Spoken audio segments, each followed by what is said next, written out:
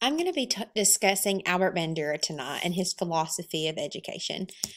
So, Albert Bandura was actually born in 1925 and died this year. Um, he has a ton of recent uh, research that we can actually still use today. So, um, his education, he actually grew up in a very small town. Um, he is the son of two immigrant parents. They immigrated here from Canada. And he says that he credits most of his education from learning by himself, basically. So he says that that kind of helped him when he went to further his education at the University of British Columbia, where he received his bachelor's because he had he knew how to study and he knew how to teach himself. So he was able to dig a little bit deeper than the professors provided. Um, he received an award in psychology in his undergrad, and then he moved on to the University of Iowa where he received his master's and his doctorate. Then he was accepted as an intern at Stanford University in California, where he stayed on as a professor and did most of his research there. His philosophy of education is actually um, kind of a branch of behaviorism. But where behaviorism kind of stops, he continues with observational learning.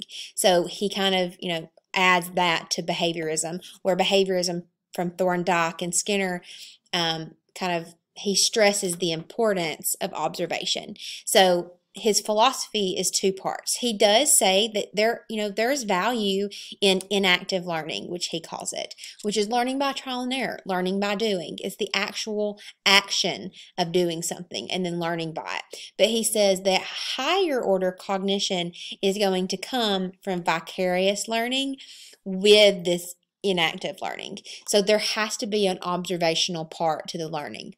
And that's where vicarious learning comes in you're not directly engaged. The learner is just observing. And so they're observing what's happening and then they're um, internalizing and measuring it against their self regulation. So um, Bandura believes that the environment, which is going to be our culture, other people, it's going to be our physical interactions that we come in contact with with our families and our friends. They're going to help develop our personal beliefs. It's our preferences, our personality, our thoughts, our intelligence. It's our cognitive ability that most of the time we do subconsciously. It's what is developed.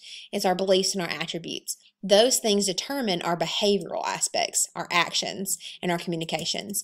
It's those motor responses that we have from what we believe that we developed from the environment. So they're all kind of related, but most of the time, Bandura believes that it's our inner, it's our um, environment that decided what our personal beliefs were, and then our personal beliefs choose our actions. But then those actions, you know, can affect our environment and they can affect our personal. So they're all interrelated. There are four stages of learning, Bandura said. So the first stage is going to be vicarious. We're observing. Then we're going to be measuring it against our self-regulation. That's the retention part. We're going to be measuring it against that personal section um, in that stage. After we have measured it, we're going to you know, if it's worth the effort that we can put into it, then we're going to move into production. So production is going to incorporate that inactive learning. We're going to do the actual learning. We're going to do what by trial and error, what we had been observing. Once we start doing that action, we're going to continue to measure it against our self-regulation, uh, that personal section of that um, triangle the better the consequence, the more self efficacy we're going to gain. If we see negative consequences, then we're going to measure it against our self efficacy and we're going to say we're not doing that anymore. So, you know, the stages of learning, stage four is measuring it against the self efficacy. If it's a positive consequence, it's going to be positive self efficacy. If it's a negative consequence, it's going to be negative self efficacy. Now, where Bandura kind of um, there's some limits to this social cognitive theory that he has developed. And that's going to be with different learning styles and different personalities. It doesn't really, those four steps doesn't really allow for differentiation. Now, I discussed self efficacy. Self efficacy is basically how you believe you're going to do something. Are you going to do it well or not? So, there are different levels of this. There's the cautious, your decision making, you're determining if it's worth it or not. If you see positive results, you move on. You're building your self esteem. Once your self esteem is being built and you're continuing to see positive results, it's building your self confidence. And then it's building your perseverance. If you see negative results or consequences, you're going to slowly start believing you can't do it. Your self esteem is going to lower. Then your self confidence is going to lower. Your perseverance is going to lower. So, those consequences measured against your self regulation determines your self efficacy.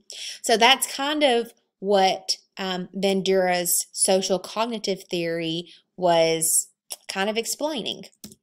These are the references that I went through to determine this PowerPoint.